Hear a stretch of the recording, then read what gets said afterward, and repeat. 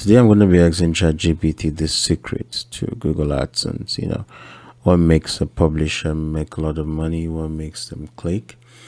And I have actually recorded this video, but I forgot for some reason to unmute my microphone and I have to do a voiceover over it. So if it doesn't um, tally with what I'm saying, just gonna have to forgive me. Aside by letting ChatGPT introduce itself, you know, what are you who are you? And it actually did an impressive job about introducing itself as it's supposed to.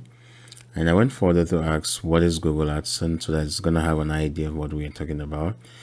I did computer science and i understand that to help you have continuity in your interaction with these systems you really do need to make sure that um, they have an idea of what you're talking about. So i went again after the question uh, what Google AdSense is, I asked, what is the secret to a successful Google AdSense publisher? He made a list, and I would just like you to read through it, though it's something that I think everybody knows. And I went further and I asked it another question. I said, how can I increase my AdSense CPC? So it gave me a list of ideas and you know strategies on how to increase my AdSense CPC.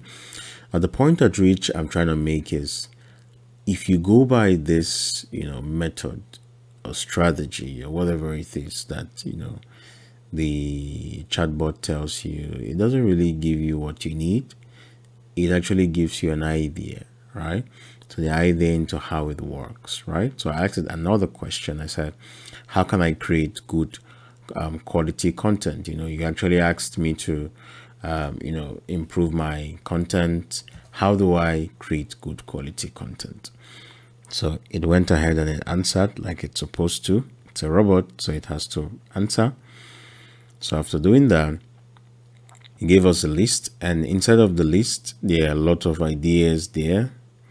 And one thing that you must understand is if you want to create a good quality content, if you can follow this back to back, definitely you can create a good quality content. Now, I now went further by asking it to actually create a good quality content, right? So you can't just tell us or give us tips on how to create good quality content without actually showing us how. So I went further by asking ChatGPT to create a high quality content and I gave it a topic. So it started by telling me what EVs are, the benefits, so exactly what it actually told us or the steps by steps that is the exact model that is the exact way that it actually created this content so that helped me to understand that if I, want, if I want to create content, a high quality content for Google AdSense approval, for you know content on website, etc., even YouTube videos, I can go by this you know particular uh, model. Now, I love a good content that has a beautiful conclusion. Um, a lot of people might not be able to read the entire content, but then conclusion very important and, a, and an introduction to very important. So if you do not know, it's very difficult for you to use AI generated content to actually get approval on Google AdSense. It's very important that you understand that you cannot do that. Everything that I, you know, highlighted here is just to give you an idea into how you can generate your own content, original content. There's a point that ChatGPT made. It actually says that you should be compliant with Google AdSense policies. So if you're not compliant, definitely you're going to struggle to get an approval. An approval these days is very difficult. So you must try as much as possible not to copy the content. I'm going to show you how you can know if a content is AI generated or not, right? So go to this website. It's called crossplag.com.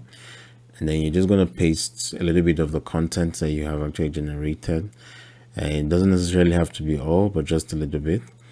And after pasting it here, this detector is going to tell you if it's generated by a human or an AI and immediately it went to 100%. So it's capable of knowing that this content is already generated by an AI. Why would Google not know? Why will your educational institutions not know? Why would your lecturers not know? So it's very important that you apply wisdom. Like I always say, the tenet of my channel is always use wisdom to do whatever it is that you want to do. I really wish us Godspeed.